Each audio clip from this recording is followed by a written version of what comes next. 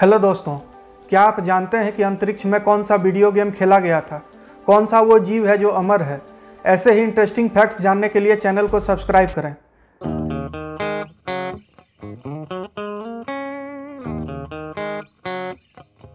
दोस्तों, क्या आप जानते हैं कि कौन सा जीव कभी बीमार नहीं पड़ता है? दोस्तों, धरती पे मनुष्य के उत्पत्ति से पहले से ही सार्क रह रही हैं। सार्क दुनिया की एकमात्र ऐसी प्राणी है जो कभी बीमार नहीं पड़ती। सार्क लगभग सभी बीमारियों के प्रति प्रतिरोधक क्षमता डेवलप कर ली है। दोस्तों, दुनिया में इंसान ने अमर होने के लिए बहुत से शोध किए हैं। कुछ शोध तो अभी भी चल रहे हैं, लेकिन क्या आप जानते हैं कि कौन सा जीव अमर है? तो दोस्तों, टूरीटॉप्सिस दोहरनी प्रजाति के जेलीफिश अमर है। दोस्तों, अंतरिक्ष हमेशा से ही शोध का विषय रहा है। इंसान अंतरिक्ष में जाने के लिए, अंतरिक्ष के बारे में जानने के लिए बहुत कुछ प्रयास कर रहा है। क्या आप जानते हैं कि टेट्रिस जो एक, एक वीडियो गेम है उन्नीस में अंतरिक्ष में पहली बार खेला गया था। वैसे दोस्तों चाँद पे भी खेला गया जा चुका है एक खेल। उस खेल का नाम है गोल्फ आज भी चाँद के सतह में दो गोल्फ बॉल और एक आयरन की रड पड़ी हुई है। दोस्तों हवाई जहाज़ के आविष्कार के बाद इंसान एक जगह से दूसरी जगह बहुत आसानी से पहुँच जाता है।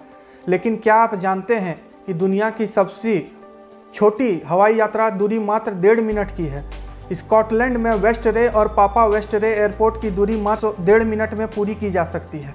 दोस्तों, मौसम और हवा साथ हो या अनुकूल हो तो ये दूरी 50 सेकंड में भी पूरी कर गई है। दोस्तों, सांस को ज़्यादा देर तक रोकना सबके बस में नहीं है। क्या आप जानते हैं कि बुडमीर सोबत जो क्रोशिया से हैं, वो 24 मिनट सैंतीस सेकंड तक अपनी सांस रोकने का रिकॉर्ड अपने नाम किया है? आप कितनी देर तक अपनी सांस को रोक सकते हैं, कमेंट में बताइएगा। दोस्तों, आप सभी में बहुत लोगों को गाना गुनगुनाने का शौक होगा, लेकिन क्या आप जानते हैं कि आप अपने नाक को बंद करके गाना गुनगुना नहीं सकते? दोस्तों, दुनिया में एक ऐसा भी जीव है जिसके जन्म के वक्त उसके पंख का रंग ग्रे होता है, लेकिन उसके खाने की आदत के चलते उसके पंख का रंग बदल जाता है। दोस्तों, फ्लेमिंगो चिड़िया का रंग सिम्प यानी झींगा खाने के चलते गुलाबी हो जाता है। दोस्तों, आपने बहुत सारे युद्ध के बारे में पढ़ा या सुना होगा। लेकिन क्या आप जानते हैं कि एंग्लो जंजीबिर युद्ध, जिसे अंग्रेज़ और सुल्तान खालिद बिन बरगस के बीच लड़ा गया था, ये युद्ध मात्र 38 मिनट 45 सेकंड तक चला था। यह इतिहास में लड़ा जाने वाला सबसे छोटा युद्ध था। दोस्तों, भारत और दुनिया में बहुत सी जहरीली प्रजाति के पेड़ पाए जाते हैं। नीरम ओलेंडर उन्हीं में से एक है, जिसकी पत्ती, फूल, तना सभी बहुत ज़्यादा जहरीली होती है। कोई इंसान इसे खा ले तो उसकी मौत हो सकती है। दोस्तों परमाणु बम क्या विनाश कर सकता है, ये बताने की ज़रूरत नहीं है।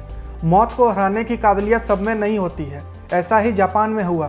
जब सुतोमू यामागुची नामक आदमी जापान में गिरे, दोनों परमाणु धमाके में ज़िंदा बच गए। दोस्तों, हमले में बचने वाले यामागची एकमात्र इंसान है। दोस्तों, अगर वीडियो पसंद आए तो लाइक कीजिए, सब्सक्राइब कीजिए और चैनल को शेयर कीजिए। Thank you.